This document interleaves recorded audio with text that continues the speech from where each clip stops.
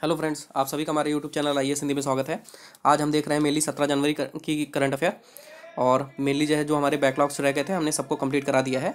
सारे जो है, आपके पंद्रह से लेकर अठारह तक के सबके कंप्लीट है और हमारी प्ले में जाकर डेली करंट अफेयर आप देख सकते हैं। देखिए, पहला टॉपिक है हमारा ये क्रोकोडाइल सेंसस के। अभी हाल ही में क्रोकोडाइल मगरमच्छों पर एक सेंसस हुई है, ठीक है?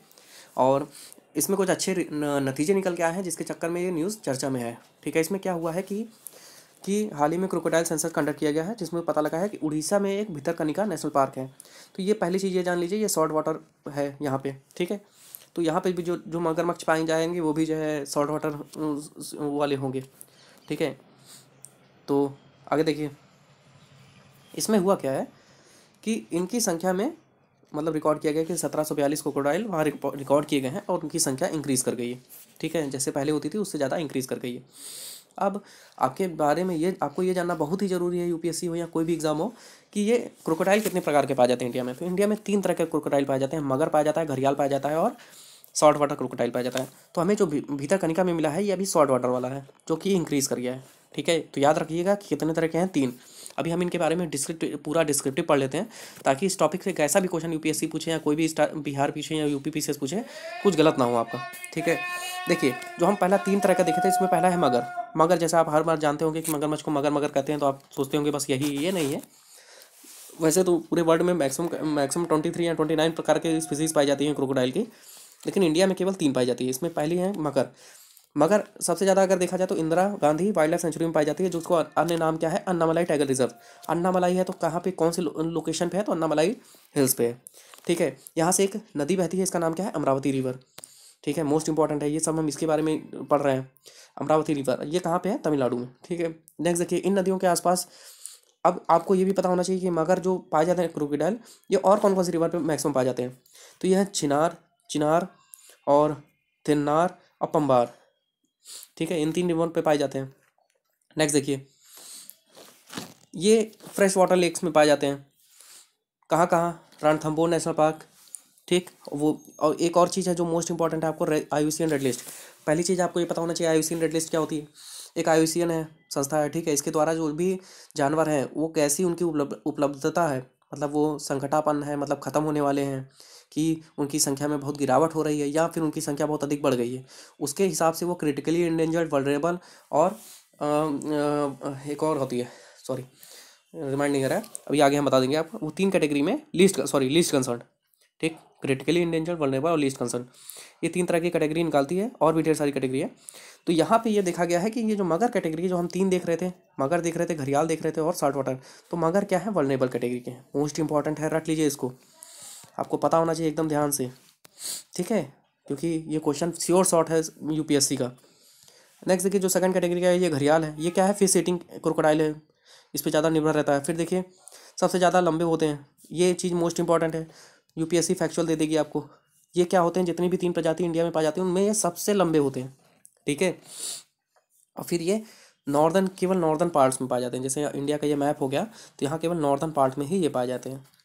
ठीक है? घड़ियाल। नेक्स्ट देखिए कौन कौन से रिवर हैं जिनमें ये पाए जाते हैं? तो गंगा गंगा है, चंबल है, महानदी है, सोन है, ठीक? नेक्स्ट देखिए, अब इसमें है national Chambal Gharial wildlife sanctuary है, इसमें ये सबसे ज़्यादा संख्या में पाए जाते हैं। फिर एक यूपी में है Katarnia Ghat wildlife sanctuary ये बहराइच ज़िले में है, यहाँ पे भी ये पाए जाते हैं। दूसरी चीज़ जो सबसे इंपॉर्टेंट है, हम ऊपर पढ़े थे, वो क्या है? वलनेबल ये क्या है? आयुसीन रेड लिस्ट के हिसाब से ये क्रिटिकली इंडेंजर्ड हैं, ठीक है? नॉर्थन पार्ट में पाए जाते हैं और क्रिटिकली इंडेंजर्ड हैं। नेक्स्ट देखिए तीसरा जो कैटेगरी का था हमारा वो साल्ट वाटर क्रोकोडाइल था। साल्ट वाटर क्रोकोडाइल क्या होते हैं? कि ये सॉल्ट वाटर जहाँ पे जो है मैंग्रोव मैंग्रोव वंस पाए जाते हैं, ये वहीं पे ज़्यादा पाए जाते हैं। क्योंकि आपको पता है भीतर, कनिका भी एक मैंग्रोव मैंग्रोव वाली सिचुएशन वाली है, ठीक है? तो वहाँ पे भी ये पाए जाते हैं। तो लार्जेस्ट स्पीसीज वो क्या थे? इसके पहले हम क्या पढ़े थे? घरियाल। घरियाल क्या थे? घरियाल लॉन्गेस्ट थे, ठीक है? अब ये क्या है? लार्जेस्ट संख्या में पाए जाते हैं, ठीक है? फिर ये ज़्यादातर मैंग्रोव वन में पाए जाते हैं, लार्जेस्ट हो गया, और भीतर भीतर कनिका सुंदरवन और सुंदरवन में, सॉरी, भीतर कनिका और सुंदरवन में सॉल्ट वाटर में ये पाए जाते हैं। अब ये याद रखिए कि जैसे कि अभी आपने हमने सबसे पहले स्टार्टिंग आ गया था कि इनकी संख्या इंक्रीज़ कर गई है तो ये देखिए, ना ही क्रिटिकली इंडेंजर्ड है, ना ही कुछ है लीस्ट वो है तो ये लीस्ट कंसर्न में वनरेबल भी नहीं है क्रिटिकली इंडेंजर्ड भी नहीं है लीस्ट कंसर्न है, इनकी संख्या क्योंकि बढ़ गई है, ठीक है। दूसरा है नाइन्थ न्यूज़ है हमारी। नाइन्थ इंटरनेशनल कॉन्फ्रेंस हुआ है ऑन माइक्रो इरीगेशन कहाँ हुआ है? औरंगाबाद। औरंगाबाद कहाँ पे है? महाराष्ट्र में। ठीक? किसके द्वारा हुआ है? तो ministry of water resource river development Ganga rejuvenation और सभी दूसरी एसोसिएशन के साथ मिलकर हुआ है। ठीक है? ये नाइन्थ है। ठीक? तो ये कब से कब से हो रहा है? सोलह से अट्ठारह तक। ठीक? और नेक्स्ट है, और कौन कौन इसमें सम्मिलित हो रहा है? तो इसमें है international commission on irrigation and drainage Indian national committee on surface water और वेबकॉस अनलिमिटेड वेबकॉस क्या है? वेबकॉस के बारे में हम देखते हैं। यह है कंसल्टेंसी ऑर्गेनाइजेशन जितने भी वाटर प्रोजेक्ट चल रहे हैं इरीगेशन रिगार्डिंग या फिर कुछ भी तो उसमें एक तरह से कंसल्टेंसी देती है कौन? वेबकोस ठीक है? नेक्स्ट देखिए, देश एवं विदेश में इसमें कौन कौन शामिल होगा ये भी आपको पता होना चाहिए।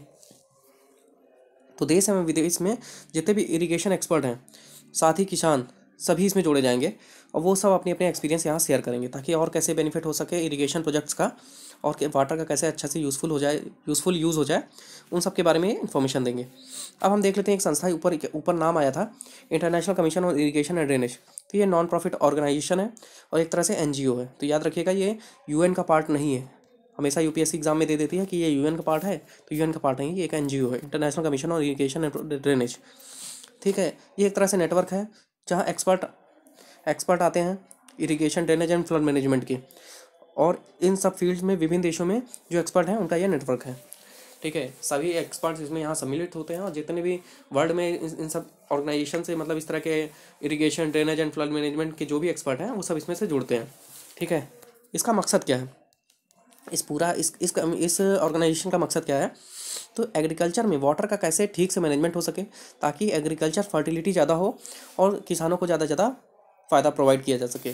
ठीक है? और वाटर का कैसे यूज़ हो, सस्टेनेबल इस सभी पे वर्क करेगी ये संस्था। ठीक है? नेक्स्ट देखते हैं नेक्स्ट है, कुछ फैक्चुअल इन्फॉर्मेशन है। अभी इम्बेक्स दो हज़ार अठारह उन्नीस आयोजित किया गया है कहाँ पे? हरियाणा में। अब आपके दिमाग में आएगा इम्बेक्स क्या है? तो इंडिया और म्यांमार के बाद संयुक्त सैन्य अभ्यास है। ठीक? नेक्स्ट देखिए, केरल में आध्यात्मिक सर्किट खोला गया है। तो याद रहना चाहिए, केरल में क्या खोला गया? आध्यात्मिक सर्किट।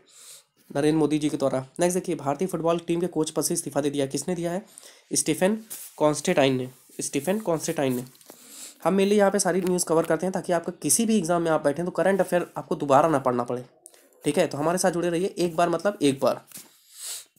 सभी एग्ज़ाम के लिए। चाहे वो आईएस हो, चाहे जो हो। नेक्स्ट देखिए, भारत के सबसे कम उम्र के ग्रैंड मास्टर बने हैं डी गुकेश भारत के सबसे कम उम्र के ग्रैंड मास्टर बने हैं डी गुकेश गुकेश नाम है जी ओ के ई एस एच बारह साल, सत्रह महीना, सात दिन, ठीक है? अब ये अगर हम वर्ल्ड में देखें तो वर्ल्ड में ये इंडिया के तो ये पहले नंबर के हैं, लेकिन अगर वर्ल्ड में देखें तो ये दूसरे नंबर के हैं। तो वर्ल्ड में पहले नंबर का कौन है? तो ये है सजई कजारकिन सजई कजारकिन तो नाम याद रखिएगा दोनों, गुकेश और सजई कजारकिन ये फ़र्स्ट है, ये सेकंड है। नेक्स्ट देखिए फ्रैंको जर्मन मानवाधिकार पुरस्कार दिया गया फ्रैंको जर्मन मानवाधिकार पुरस्कार। पहले देखिए, नाम में फ्रैंको है फ्रांस का है। लेकिन ये पाया कौन है? चीन के प्रसिद्ध वकील हैं। इनका नाम है यू वेद सिंह ठीक है? याद एग्ज़ाम्पल में याद रखिएगा, अंग सांग सब कुछ दे दिया जाएगा क्योंकि मानवाधिकार है तो आप कन्फ्यूज़ हो जाएँगे नाम क्या है? यू वेन सिंह ठीक है? चीन के प्रसिद्ध मानवाधिकार वकील है। मानवाधिकार के क्षेत्र में महत्वपूर्ण कार्य किया है, इसलिए इनको मिला है। चीन के महिला मुक्केबाजों के लिए अगर मुख्य कोच के रूप में देखा जाए तो कौन है? मोहम्मद अली कमर, ठीक है? चीन की महिला मुक्केबाजों के लिए मुख्य कोच नियुक्त किया गया है मोहम्मद अली कमर को। नेक्स्ट देखिए आईसीसी का नया सीईओ नियुक्त किया गया है। तो ये कौन है? मनु साहनी। आईसीसी के हैं तो इम्पोर्टेंट है। किसे नियुक्त किया गया? मनु साहनी को। अब आईसीसी की स्थापना कब हुई थी? तो उन्नीस सौ नौ। और हेडक्वार्टर कहाँ पे है? दुबई में। नेक्स्ट देखिए। तैराक श्री हरि नटराजन ने खेलो इंडिया यूथ गेम्स में साठ, सात स्वर्ण पदक जीता है।